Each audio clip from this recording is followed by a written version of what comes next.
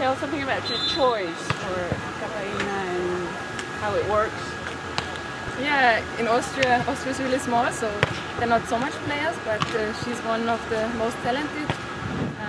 She's successful since three, four years in the uh, in the young um, tournaments. So uh, I think we have a lot of potential in the in the team, but we can grow a lot, so we have to work hard. Uh, but it's a good beginning uh, to make good steps, and it worked so well already in the beginning with some ups and a lot of downs, of course.